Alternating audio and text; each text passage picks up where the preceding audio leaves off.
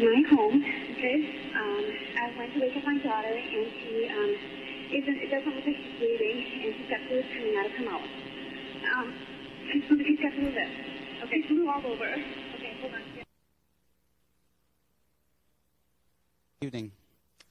This is the, the gravity of the situation we're talking about tonight. My name is uh, Andrew Jones, and I'm the Family Ministry Director at Stillwaters Church in Jackson.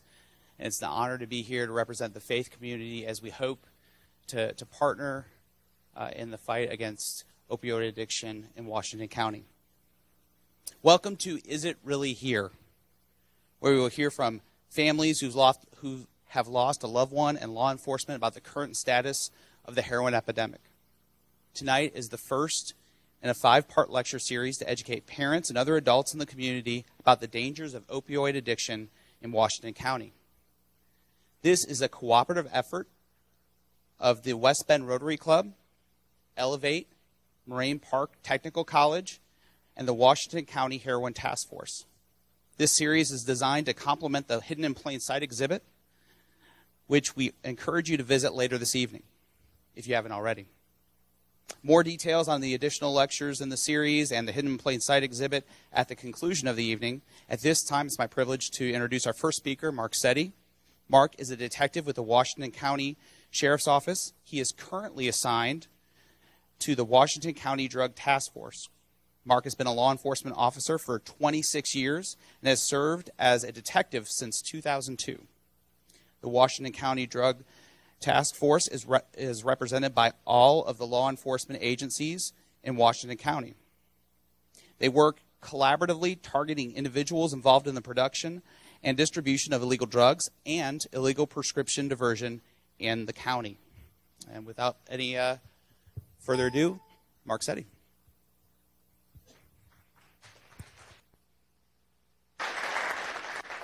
Good evening, everyone. Thanks for coming. Um, my first comments about any sort of an event like this is that the microphone is too loud. And I'll scratch you. Is that better? All right. Um, this has to be a community effort. The drug problem, the opiate problem that's going on in all of our communities is not going to solve itself. We're not going to prevent our way out of it. We're not going to arrest our way out of it. Um, we're not going to treat our way out of it no one uh, avenue is going to solve the problem. We have to work together. We have to work collaboratively in order to try to get a handle on what's going on. And forums like tonight, what the uh, task force is doing, uh, the Elevate Task Force, um, and the community coming together as a whole is, is what is needed to try to solve this problem. Um, you're going to hear me talk probably more than you want, um, so I'm going to start this off with a video um, that I like to play because I think it um, does a good job of kind of showing how these problems begin um, and why these things are going on in our community. So without further ado, I'll play this. It's about 10 or 12 minutes long, and then you'll hear me uh, ramble on more than you want after. People think it's all a joke until you're in this kind of situation, which I wake up every day with serious written all over me. I'm just now getting at that age where, you know, I have friends that are doing drugs, and because of what happened to my brother, I just know the consequences aren't worth it. If you are with a negative and you are not strong enough in your own self, you will be brought down with them. And you won't even know it. And you'll defend yourself, you'll justify yourself. Oh, nothing's wrong with me, I'm not changing. But you do. And when that happens, your mentality changes.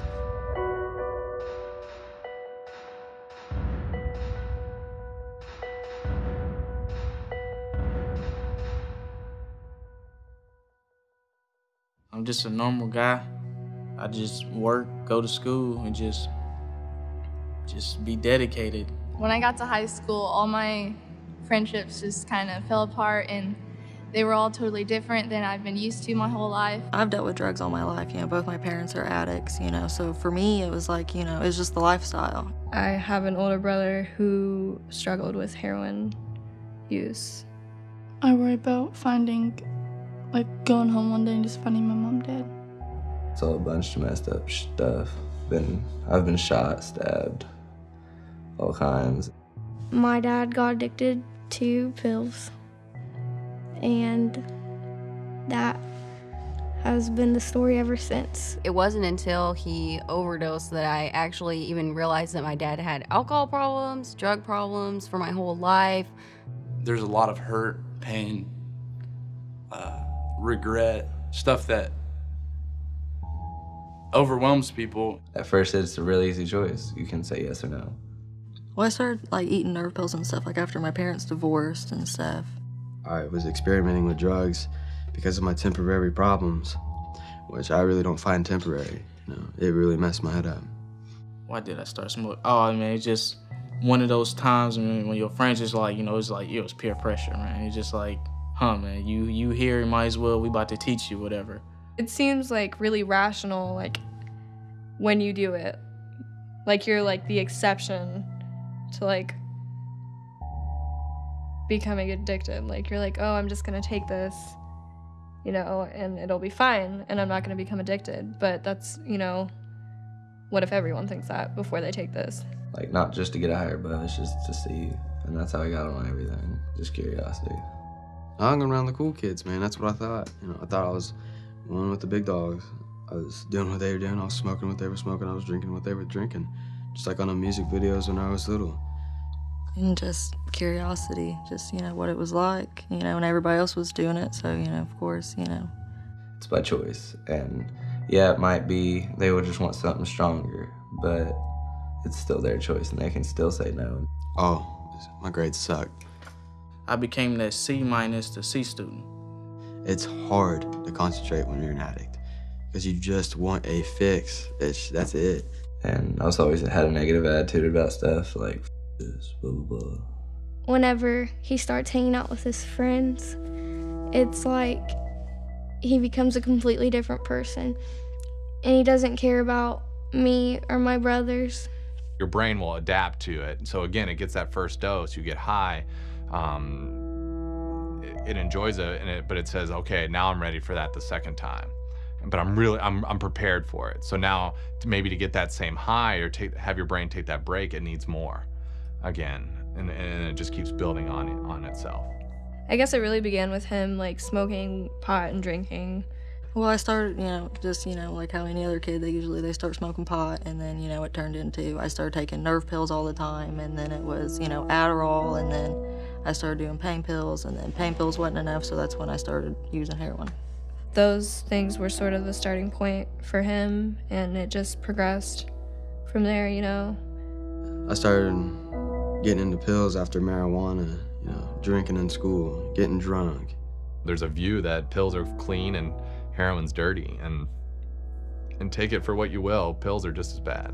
What got me hooked on heroin's first line, and I was smoked a joint before and was already really high because it was some chronic, and I was like, I couldn't get any more higher. Snorted a line of heroin and felt amazing, like the best I've ever felt in my life. And nothing could ever replace that first feeling I had, and I kept wanting to get that every day. Just feel invincible, no problems, nothing to think about. Just feel invincible, and it screwed me over. Your body gets so immune to different things, it's like levels. And once you get so much of marijuana, you're gonna want more and more and more and more to smoke just to get that high you got the first time. Same with cocaine. Started off with little lines of cocaine and turned into huge lines of cocaine, thick lines. I didn't know that he was using heroin until he overdosed the first time. I really don't know how to explain it. You want it every day, all day, and you try to get it every day, all day, just to get that one feeling, but you'll never have it. Ever. And there's a point where you're just so high up there that, you know, you just got to do it just to even feel normal for the day. Like you don't even, you don't get high no more. You're just normal. It's like to have to live a normal life, and it's awful. Where heroin acts, it's an area that, that, that needs to be fed. Once it gets one, it constantly needs to be fed. And, and, and when you take it away and it's not getting that anymore and it depends on it, it's, it's, gonna, it's gonna cause your body to do anything it can to go, to go get that substance back. So it, it makes you feel sick. And these people really get sick when they stop using. Eventually, it's you don't use it, you're dope sick. You're on the ground crunching up, puking because you don't have it. Oh, it's awful. I mean, you know, it's like um, you get like the hot and cold sweats, and then um, you know, puking. You know, just feeling that urge. You get pains like in your legs and your arms and your back, your head's pounding, you can't sleep, you can't eat. It's terrible. It's like the worst feeling in the world. And like I, when I look back, you know, now from this, like I think it's like, why did I let myself be like that? So heroin it's it's fancy talk as an opioid. So it's kind of it's a drug that is meant to slow things down. And what happens in an overdose is people will take it.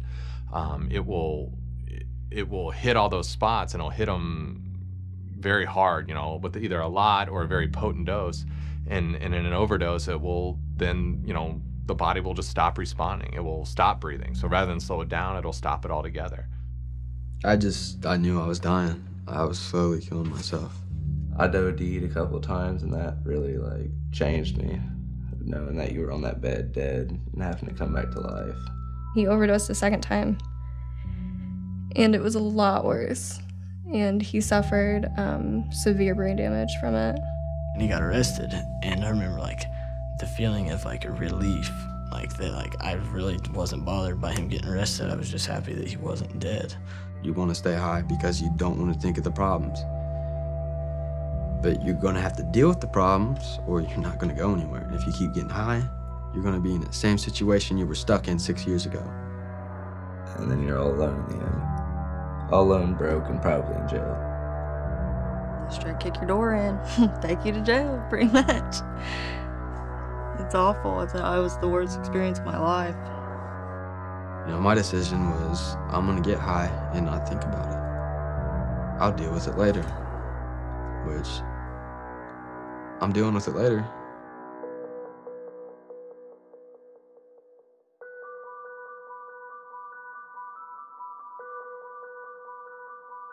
If you're looking up to people like that who do drugs and all that type of stuff, like if you think that's cool, like you gotta be young minded because in reality, drugs don't drugs don't get you far. They gonna get you in a casket or locked up in prison. I don't understand how um, not knowing where you're at is cool. Not knowing who you slept with the night before is cool. You do have a choice, and, and, and, and it's an important choice, and again, because you will lose your ability to, to make your own choices once you start down that road. I've just seen the horrors of heroin use. And that's just not something I would ever be inclined to try or be around anyone who is doing it. Drugs have not helped me. I never ever would have thought I would have been an addict. It's it's a horrible life to go down for real. I wish I never did. You're gonna be curious. It's natural to be curious, but there are big consequences here uh, when you explore and when you when you start exploring with this stuff. There there are some major major consequences. Like saying just say no, do that because it works and it will help you out in the long run. Like, am I gonna try this and get addicted to it? I don't know. Am I gonna try this and not get addicted? I don't know. So, I mean, really, with trying any drug, it's a risk. Find things that make you happy. Find good people in your life, and then you won't need something to fill that void in your life because it's never worth it. It won't ever be worth it. You know, the outcome is most likely going to be a lot more negative than positive. Inevitably. You don't have to look just like everyone else, and you don't have to do what everyone else is doing. Stay in something as positive as you can. If you want to get up and you want to go to school, then you're going to get up and go to school. If you want to get good grades and you want to go to college, you're going to go. You'll find a way. But if you if you want to sit at home and you want to sleep all day and you want to feel sorry for yourself, then that's what you're going to do. So I guess that I had to change my want to.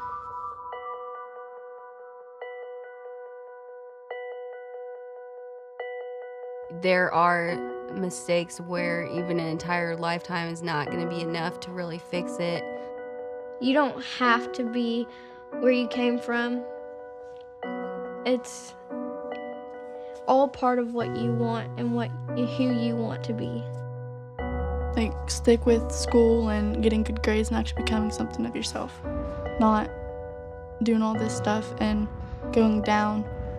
Just don't mess with any drugs or anything that could threaten um, the wa- the way you live your life.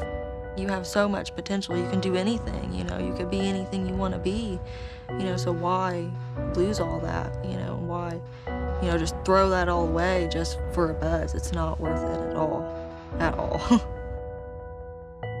Never met a perf- like person with that's doing good for themselves on heroin.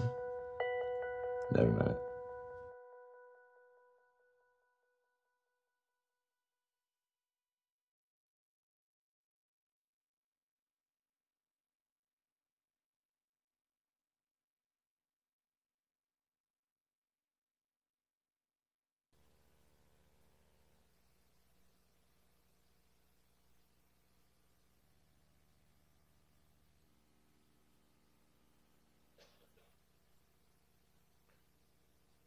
All right, folks.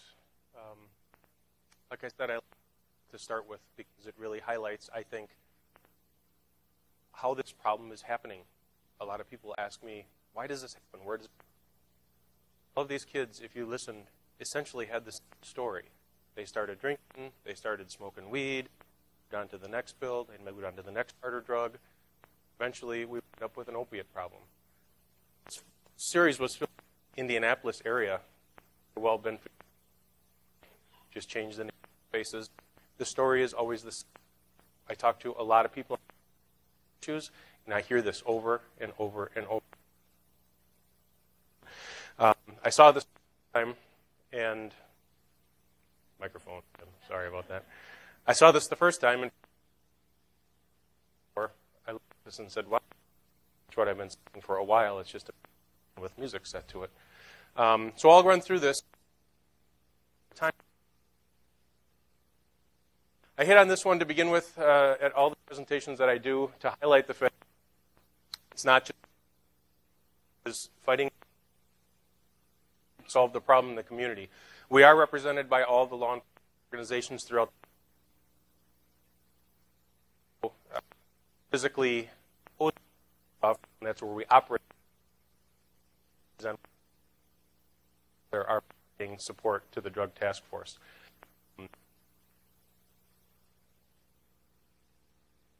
And Klopp is here tonight.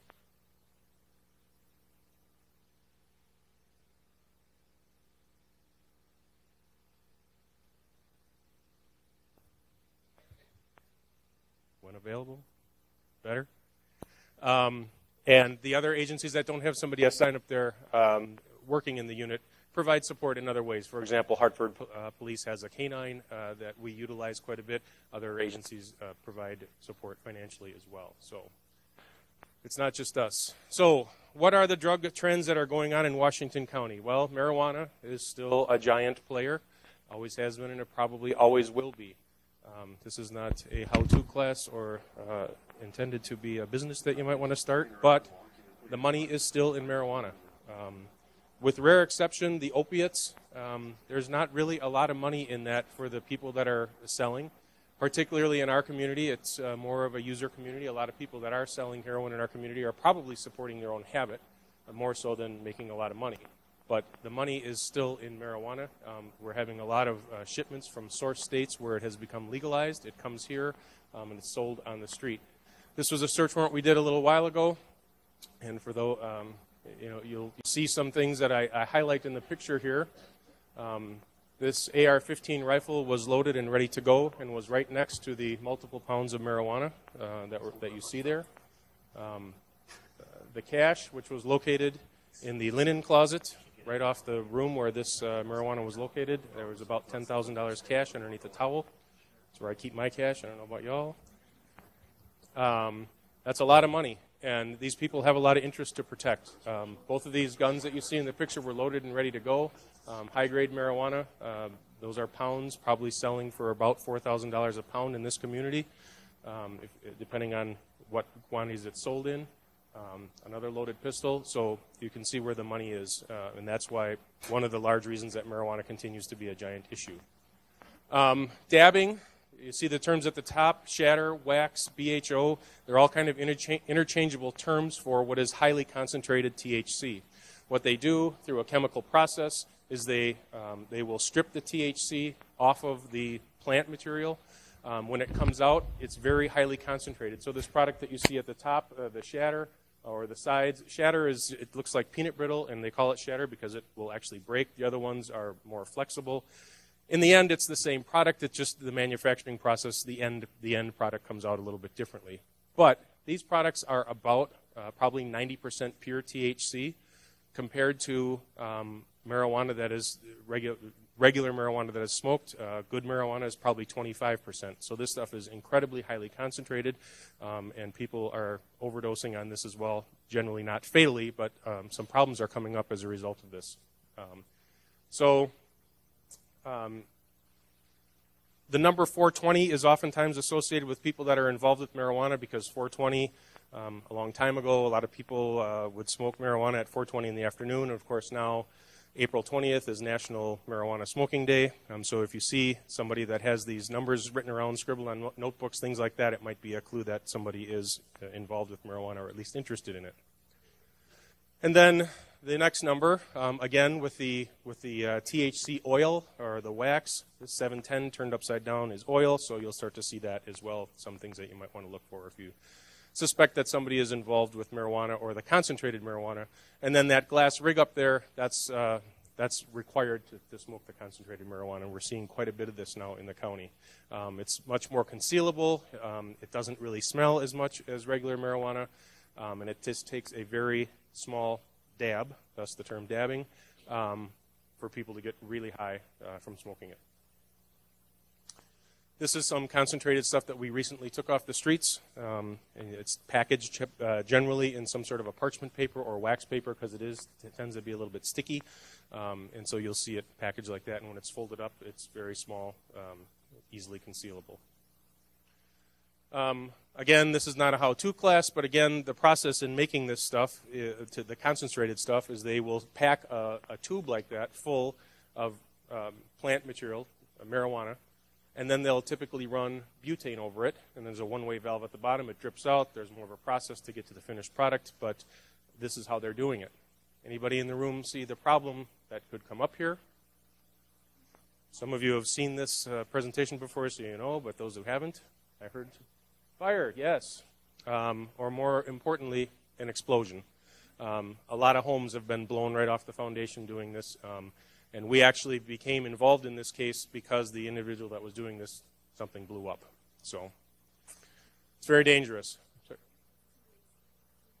Tetrahydrocannabinoid. Uh, BHO stands for butane honey oil. Again, uh, in order in making this product, they're going to put the plant material in that tube and they're going to run butane over it, um, and then you get an oily product out of it. So it's butane honey oil or shatter or wax. It's kind of the same thing. It's just the finished product will look a little bit differently. Uh, marijuana edibles are becoming a little bit more popular um, as they are shipped in from out of state and source states. So uh, THC and um, the, the active ingredient in marijuana is in some of these drinks or candies. Um, so we're starting to see that quite a bit as well. All right. Um, as we move on to other what we call common drugs, um, there's a lot of drugs around. When I say common, I'm talking about the things that we typically see here in Washington County, more so than some of the other things. Um, cocaine is around. Uh, that was around uh, quite a bit a number of years ago. It's starting to make a comeback. We're starting to see quite a bit more crack cocaine uh, in the area again.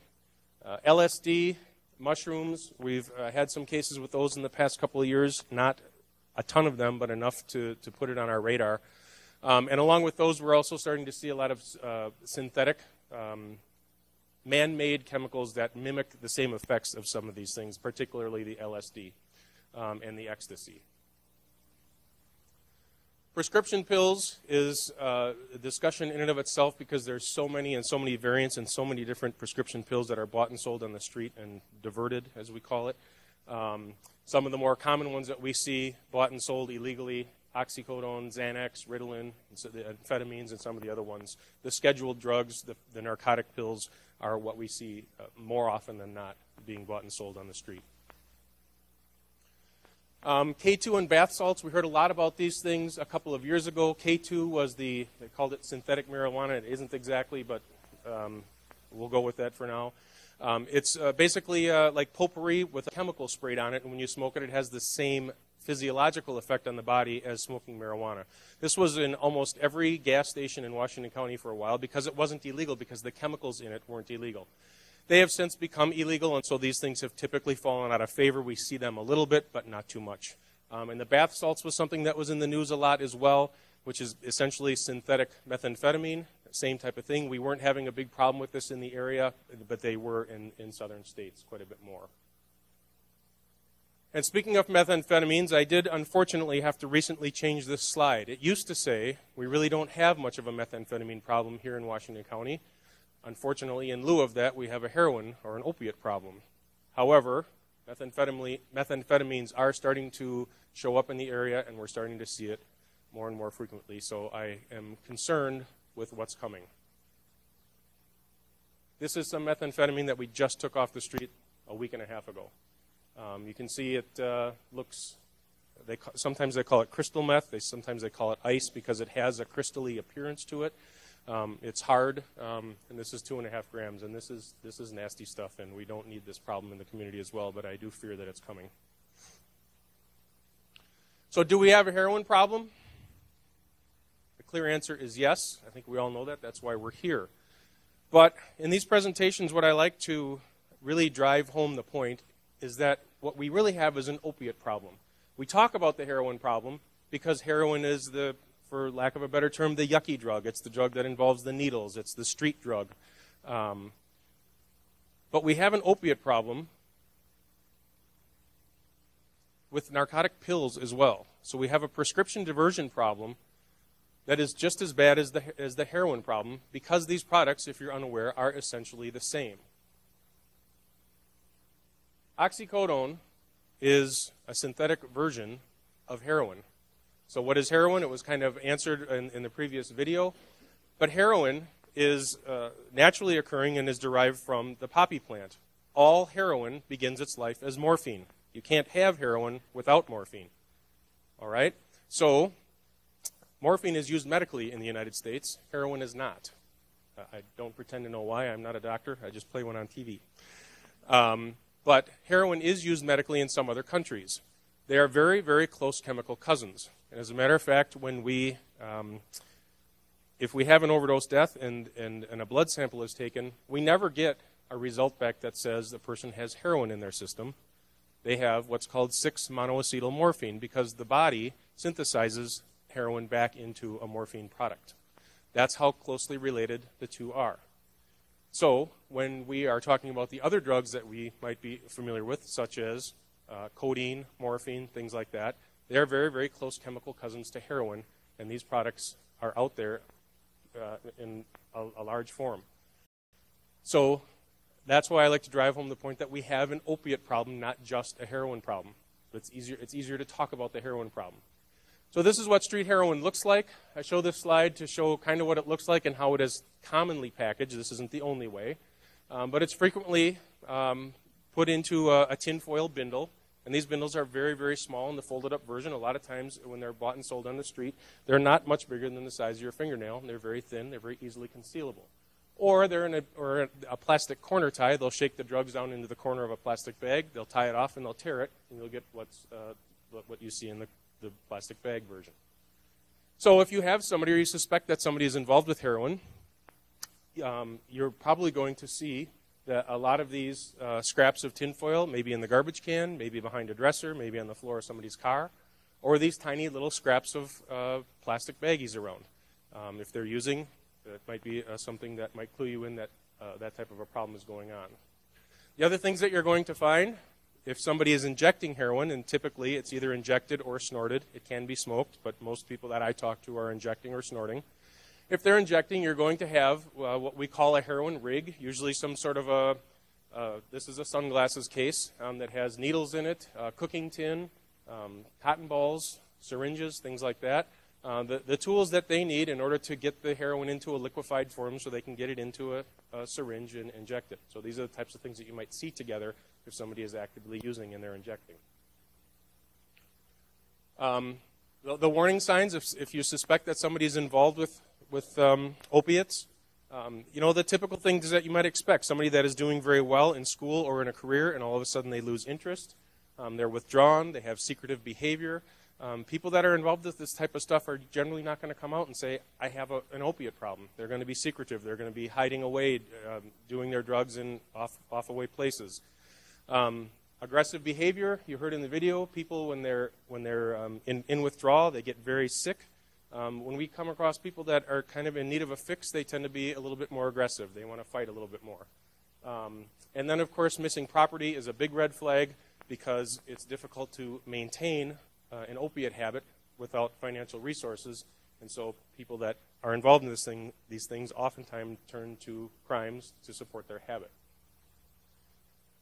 Some other things um, that is unfortunate to see. I used to have to uh, get these pictures online, uh, but unfortunately, these are now just photos from our jail, booking photos of people that are involved uh, with heroin and opiates. They typically are not so in. They tend not be so concerned about their hygiene. They're much more in, in concerned about when they're going to get their next fix, just like you heard on, in the videos. So over a period of time, this young lady um, uh, you can see some of the downfalls uh, as she continues on with her addiction. This young lady as well has continued to struggle, um, and we see that that the, the drug addiction does, isn't pleasant in to how it handles against the body. So why don't they just quit? Again, this was kind of uh, addressed a little bit in the video. Um, when you when you have a, an opiate addiction, it literally changes the chemical makeup of your brain your brain makes uh, dopamine and other uh, things that it needs to, to regulate. When you start introducing some of these other substances, what happens is your, your body stops making those substances because it's getting it artificially. And then, when, you, when you're not getting it anymore, the body craves it and craves it and craves it and craves it even more because you're, you're giving it uh, unnaturally. Um, and then eventually, what happens is, like the video again said, People no longer use to get high, they use so they don't feel sick anymore. You talk to somebody that has a significant opiate addiction, they will tell you that the withdrawals are like the flu, the worst flu they've ever had, times 10. And they don't want to go through that withdrawal anymore. And how does it begin? Again, oftentimes through a, a, a lifestyle of polydrug use. I'm uh, not saying that everybody that uh, takes a drink or smokes marijuana is automatically going to become addicted to uh, opiates, but that is oftentimes the path that people go down. Um, once again, they start with the, the, what I'll call the lighter drugs, and they move higher, higher and higher and higher up the scale until they have an opiate addiction. And the other one that happens, not as commonly, but certainly does, um, somebody gets a valid prescription for a, a, a true medical need for an opiate, um, and they're on it for a long time, and they have trouble getting away from it. And these are some of the types of things that we see that are prescribed that people can get addicted to fentanyl, Oxycontin, um, Percocet, and some of the others that show up on the list here that you may be familiar with. You may have been prescribed on your own. How are we doing on time? Move it along? All right, very good. Um, so, uh, with the prescription drugs, the the, the drug that you see on the top is a 30 milligram oxycodone tablet um, that we are typically in this area paying a dollar a milligram for. People that have these addictions oftentimes are doing multiple a day, so you can see that adds up very quickly and gets very expensive. Once again, heroin and oxy are essentially the same animal in, in terms of the way that they react with the body. If you can get a bindle, a bindle of heroin for 10 or $20, you get the same high. It's going to last you a lot longer, and that's where these addictions typically uh, begin. Where are you going from here? If you're lucky, you'll go to jail. I don't say that in vain or to be snarky. Um, I've lost count of the calls that I have gotten from parents that say, please, please don't let my son or daughter out of jail today. I don't want them there, but at least I know they're going to live through the night. Uh, some of the penalties that happen um, simple possession of heroin or a Schedule II narcotic is a three and a half year felony in Wisconsin. Delivery is a minimum of a 10 year felony if you deliver it to somebody. And it does actually happen. These are examples of some individuals that uh, have unfortunately been down this path. Um, and this is a, a, young man in the West Bend area that has continued to struggle with some of these issues. Um, this is another one uh, from the Allenton area where these two were involved in a very significant uh, heroin operation. Um, and they and in this case, these people did have some assets as a result of their uh, their illegal activities um, as well. I'm going to skip through some of these pretty quickly because we're running out of time here. Um, but again, there is a huge um, connection between the crime that goes on in the community and some of these addiction problems because, once again, when you can't afford it on your own, a lot of times people are stealing, whether it's from family or friends um, or moving up to other uh, larger crimes that happen, and we see it in the news all the time. Um, this was an incident that happened at Culver's in Jackson a while ago where an opiate addicted person came in with a gun to rob the place. Um, the police were called, and it ended up to be a bad day for everybody involved. And again, this was uh, driven by an opiate addiction um, where firearms involved uh, and things like that. People that are high are driving on the roadways. This was another case that we investigated out near the airport on Highway 33, where the driver of that black SUV was high on opiates, crossed the center line, and hit the person in the, the innocent person in the silver car. Miraculously, nobody was killed in this accident. I don't know how, but the people in the silver car do have a lifetime of injuries to deal with. Um, and uh, I'm not saying that people that are addicted to opiates are uh, intentionally killing people. However, if you do deliver a drug to somebody, and that person ends, ends up overdosing and dying, you can be charged with second degree reckless homicide, as this individual was. Um, ben Stibbe, he's a gentleman from Grafton that uh, went down that path. Cool. We already saw this 911 call, um, and that's the unfortunate um, ultimate end to a lot of people that are involved with these types of things, and it's very sad. So.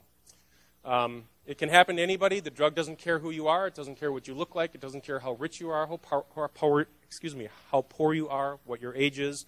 If you give it a chance, it will take you over if you can. If you are struggling with an addiction on your own, please reach out and get help. If you suspect that somebody has an addiction, reach out to them um, because this problem is not going to solve, uh, solve itself on its own, and these people are not going to be able to solve these problems on their own. They need help. We all need to work together to get the help we need. Um, all right, so I'm shutting it down here because I'm way over my time. I appreciate your time and attention, and we'll move on to the next uh, speaker. Thank you.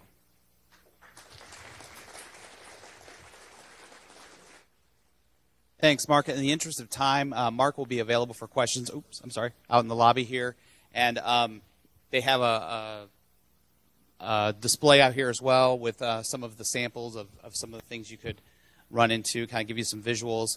At this time, we're going to ask, um, I want to introduce Annette Rank. Annette has lived in Wisconsin all of her life, growing up in northwestern Wisconsin, but lived in Madison most of her adult life. She's recently relocated to Jackson. She's a mother of three, including two adult boys, and she also has a three month old granddaughter. But tonight, she's going to talk uh, with us about her oldest daughter, Alyssa. Thank you. Um, speaking tonight continues my ongoing effort to bring awareness to the horrible addiction that took my daughter Alyssa's life. I've made it a mission of mine since her passing to do my part to inform and educate people about heroin addiction and the fact that it can and will take anyone. This vicious drug does not discriminate, not by race or sex or economic circumstances, not by upbringing or religious beliefs Anyone that ever tries it is at risk. It's an awesome responsibility to try to bring hope, inspiration, and maybe some sort of peace to others who have felt the same horrific pain that I have. I know that many of you share this pain, the worst pain imaginable of losing a child. Others of you have lost their sibling, a parent, or another relative or a friend. And others yet still may be struggling with addiction yourselves, or someone you love is struggling. Whatever it is that brings you here tonight, we hope you find some answers here. For those of you who have lost someone to addiction, it was most likely an untimely and unexpected loss, bringing tremendous pain and grief to your life. We all deal with these feelings and emotions in our own way. There's no proper way. It forms from how we were raised, our past experiences with death, and our own emotional state at the time. I had experienced a large personal loss in my life almost 20 years prior to my daughter's death.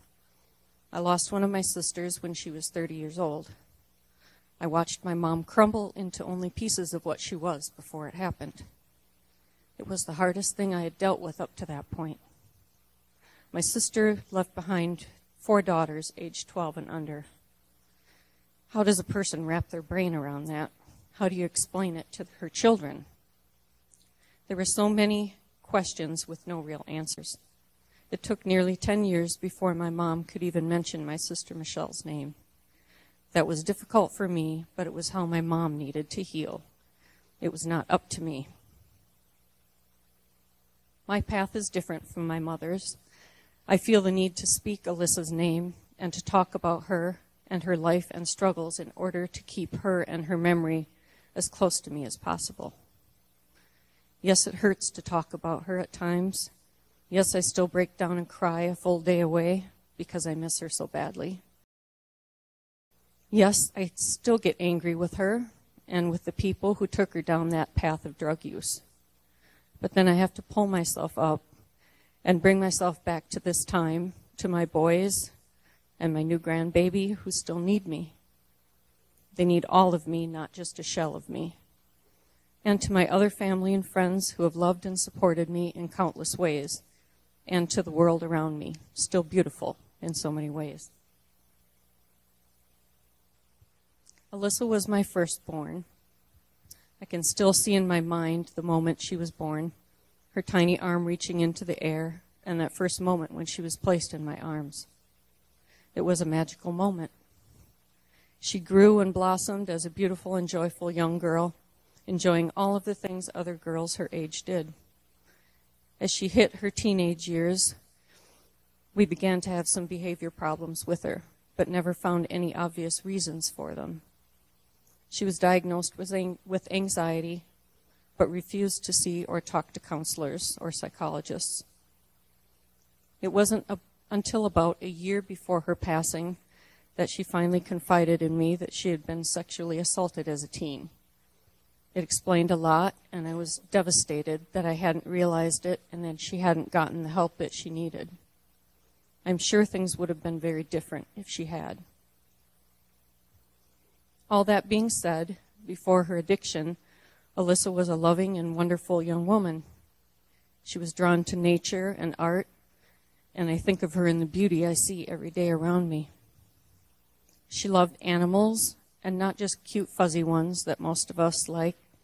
She had a pet snake and a tarantula to go along with her kitty. She told me once that she loved the creatures that others thought unlovable. I remember being so touched by those words, thinking how selfless and sweet it was of her to feel that way. She had a very gentle heart. She also had an amazing and quirky sense of humor. She loved to thrift an antique shop and would find random silly things and make such a big deal out of them. She would take photos of them or maybe herself with them and send to her friend Mason in California. They would laugh and joke about them all the time. I have always loved wearing dress boots, and often the heels would make fairly loud clacking noises when I would walk, and she would tease me that I sounded like a hooker. I know, not a real compliment, but I thought it was funny, and I miss it. she called me Maja. I have no idea where she got it from or why she started using it, but I sure miss hearing it. I miss her voice. I'm sure many of you have similar stories of your loved one, moments and memories that you cherish and keep close to your hearts. I have a box of her things, little things that she treasured or were just part of who she was. Some of her glasses, she didn't really need to wear them, but she liked them and had several pair. Same with hats. Excuse me just a moment.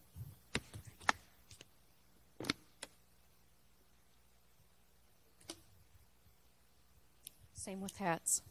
She liked them and looked good in them, so I kept them.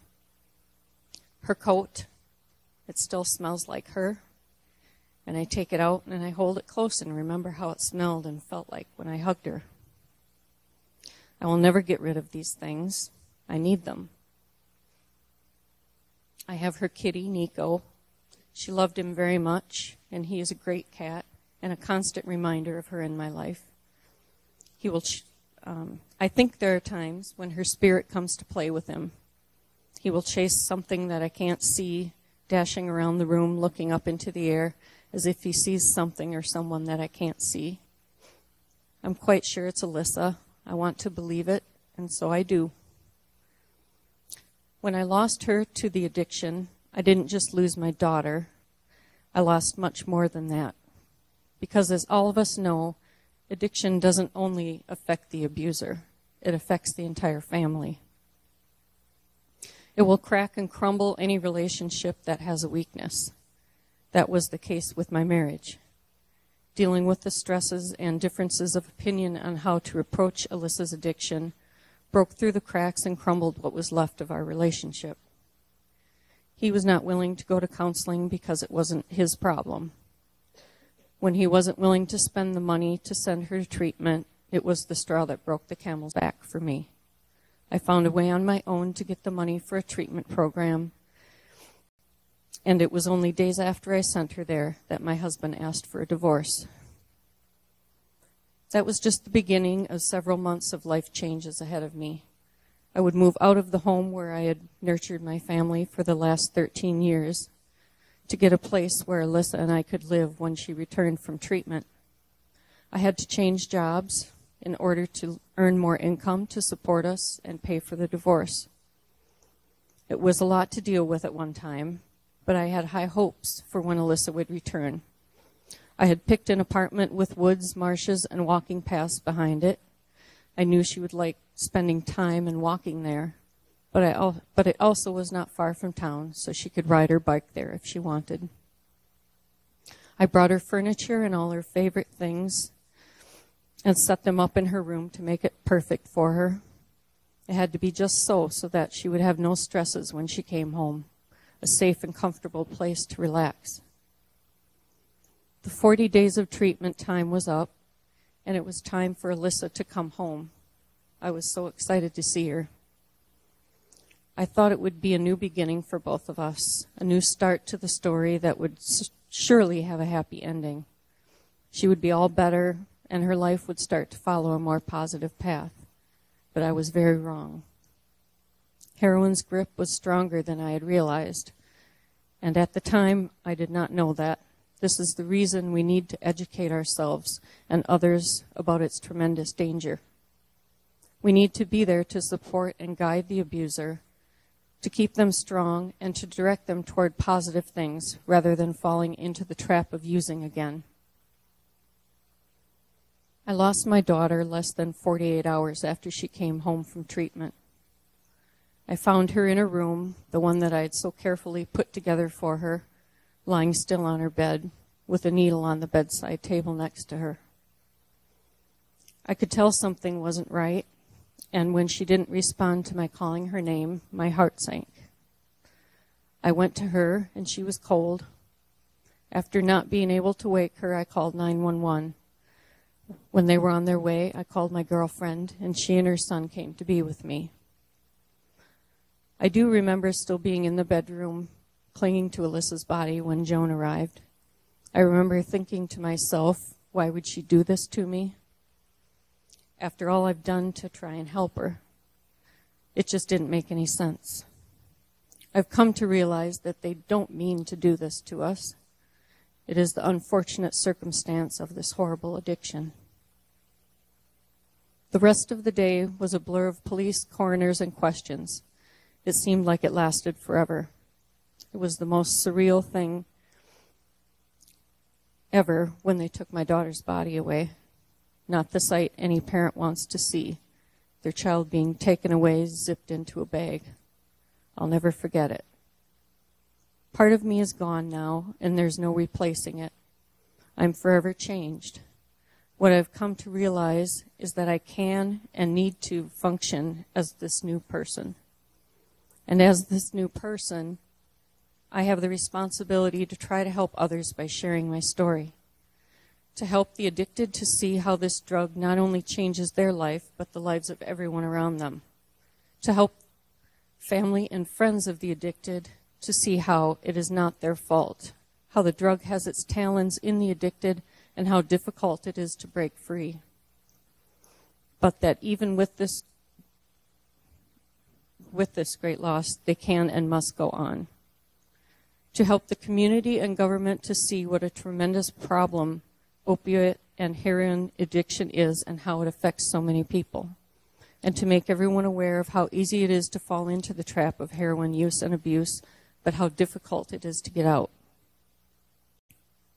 This is our responsibility. If we do not tell our stories, this is just another hidden epidemic. We need to be an army of mothers, fathers, sisters, brothers, children, and friends converging on the government and insisting on change. What is being done now is not working. My daughter had OD'd several times in the six months prior to her death. She was given Narcan to bring her back to life, then tossed back out into the world as if nothing happened. Because she was an adult, I was not informed of these incidents so I was not able to get her the help as soon as I should have, and neither the police nor the hospital offered her any help whatsoever. When someone does go looking for help, there's no room in the program. You need to wait days, weeks, or even months for an opening. This is not acceptable. One day may be all it takes for heroin to take that person's life. More government funding is needed to increase the availability of programs and homes to help these addicts get on the road to recovery. We need to make everyone aware of this, and we can't do it by keeping our stories to ourselves. It takes public outrage to make change, and the public needs to hear our stories of struggle to realize what needs to change. Every person that knows your story is likely to share it with someone else when the topic of addiction arises. Your personal story may be the fuel that sparks in them the motivation to push for change. It may be a letter written to the government representative or a financial donation to one of the wonderful groups that work to provide education and support. Whatever it is, it's another person on our team, another soldier in our army fighting for our cause. One person at a time, we can grow our army until it is too large to be ignored any longer. This is how we can make a change. We can help save the life of someone and spare another family the agony that we bear every day. Thank you all for coming tonight, for listening to my story, and for becoming an instrument for change. I wish peace for each of you as you deal with the struggles of addiction or loss in your lives. Keep your loved one forever in your heart, but also share them with the world. Thank you.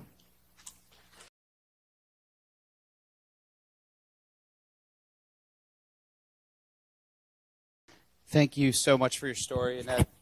Uh, at this time, I'd like to introduce Terry Bogues. Terry was an emergency room RN for 20 years. Terry grew up in Menomonee Falls, went to uh, University of Wisconsin La Crosse for her BSN in community health education, and Carroll College, Carroll Columbia for her nursing degree. She is now a business owner of an event venue in Richfield. Terry would love to hear your story.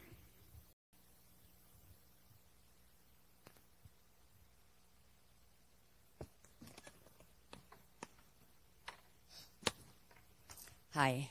I didn't come as prepared. I'm going to speak from my heart.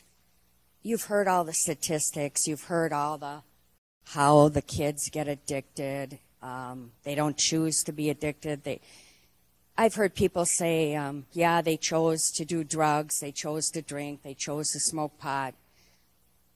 But they're kids, and, and they never chose to become addicted. Um, my son Greg was a wonderful, handsome, smart, talented, athletic young man. The type of young man you'd never think would be a, a drug addict. Um, in hindsight, I look back.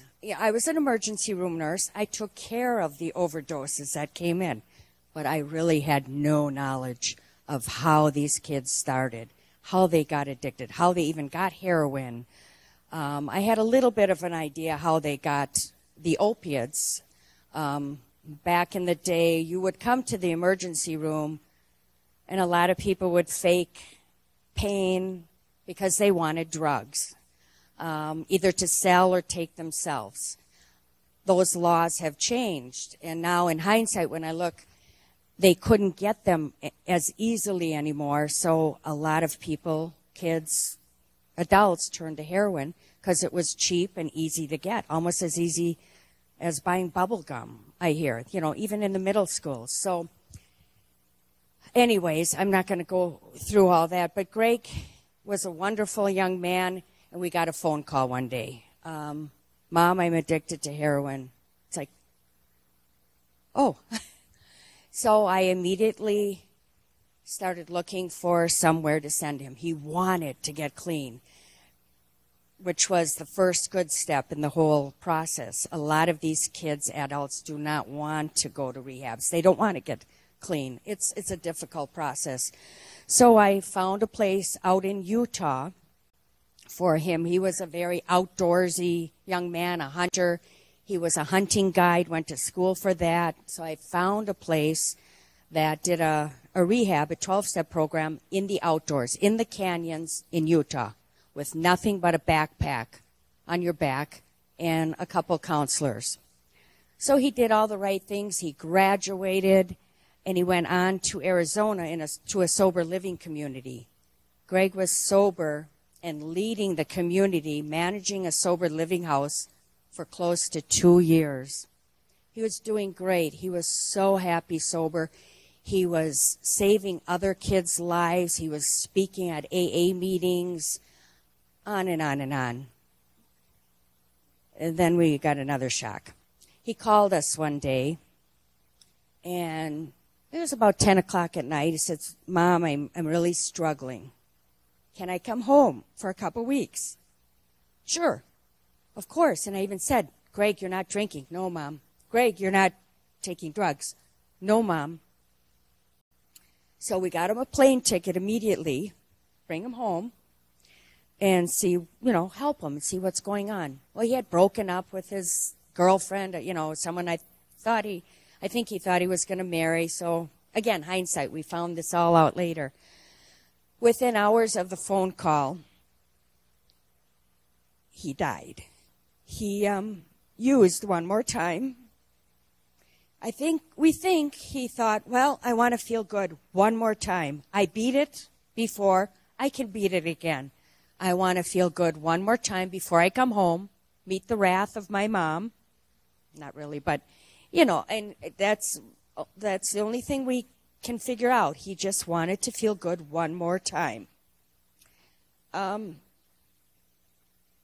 and because they you you know he didn't use for two years. He probably used the same dose that he did when he was using and he, his body couldn't tolerate it. So for his funeral i was very open about it. In the obituary the pastor when he spoke i wanted everyone to know how he died. I wanted someone to learn from it. In fact there was one young man in the audience of the funeral um, a son of one of the physicians I worked with in the ER, and he also had overdosed several times, brought back with Narcan. Narcan. And I told her, I said, please invite him to the funeral. I really want him to come and see what can happen. Um, 25 of the kids from Arizona, at, from the sober living community, all came to the funeral, along with a lot of their parents, which I had no idea what impact my son had on this sober living community and all the kids that were struggling with their addictions. Their parents came, they came to the funeral to thank me for Greg. Greg saved their lives. These parents thanked me. So, what I guess I'm trying to say is these kids aren't low life druggies that are doing the drugs. They can be your son or daughter. They, can, these are are kids that just go down the wrong path, not realizing once you take that step in the wrong direction, you're hooked for life. Yes, you can get sober, stay sober, but you're hooked for life. One time, you're back in the same predicament, the same addiction. So they took a wrong, as the pastor even said, Greg took one wrong step, and it cost him his life. Um, society, I think everything everyone's doing now to bring the awareness to heroin is great. I once I spoke to a police officer at some facility where I worked, and oh, how is the heroin problem down in Racine?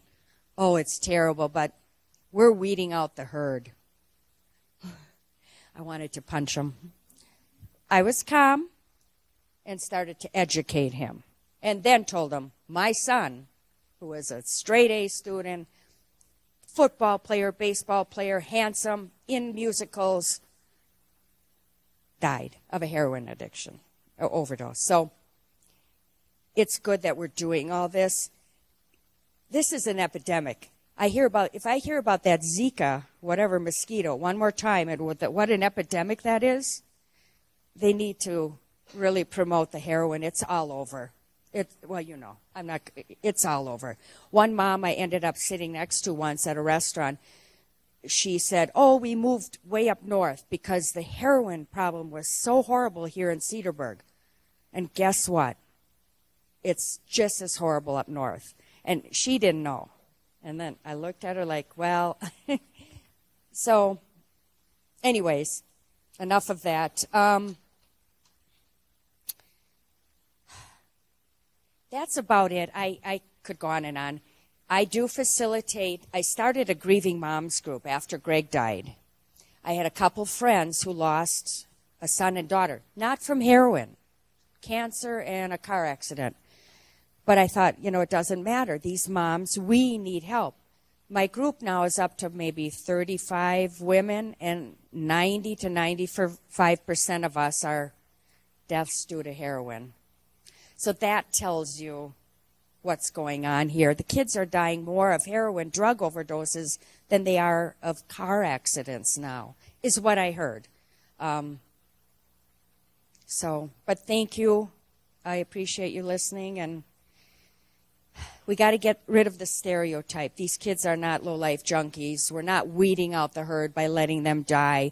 Narcan is good. It's not going to make them keep using. It's just going to give them another chance to try to rehabilitate and live.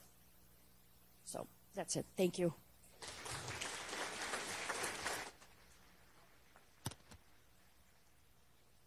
Thank you very much, Terry. We want to thank all of our speakers this evening, Mark, Annette, and Terry. Um, at this time, I just want to remind you that the Hidden in Plain Sight exhibit is still open until 8 p.m., and this is an opportunity to kind of see a teen bedroom and, just see all of the, the ways that they are um, they can hide or uh, just all the, the symptoms of what you might see in a bedroom of somebody who might be using or might be addicted. Um, and this time, I just want to give you a preview of some of the future lectures that are in our Heroin Highway series on February 2nd. We'll be talking about the struggles of addiction and hear from those who have loved ones struggling with, with addiction currently. February 9th uh, is called After the Bar Closes. And we'll hear from those who are struggling with addiction themselves and the effect it has on their families. February 16th, uh, celebrate reco- uh, celebrating recovery and legislation changes made through the HOPE legislation, and then hear from a panel of success, sto- success stories and their stories of recovery. Uh, Representative or Assembly and Bob Gannon will be here that evening. February 23rd is a heroin simulation simulated uh, experience where the nursing students discuss, learn, and demonstrate how to care for a person undergoing a heroin overdose and heroin withdrawal. The nursing students get a chance to understand how to administer Narcan, the reversal medication used for heroin overdose. The simulation experience will greatly enhance the education and skills these future nurses need to help their community with this epidemic. So that's going to be kind of the, the topic that evening. In order to help our uh, partners best serve the community, we have a survey that's coming around, uh, an evaluation rather, as you leave. Detective uh, Setti is available still for questions, and they do have again once again they have a display you might want to visit just outside the hallway. And um, some of our speakers have agreed to, to, kind of stick around if you have questions as well. Once again, uh, I want to thank you for attending this evening. I would also like to thank uh, West Bend Rotary Club, Elevate, Moraine Park Technical College, and the Washington County Heroin Task Force for their hard work in putting this program together. So if you uh, have any questions Detective Seti here. We have the displays hidden in plain sight. Thank you so much for attending and have a great evening.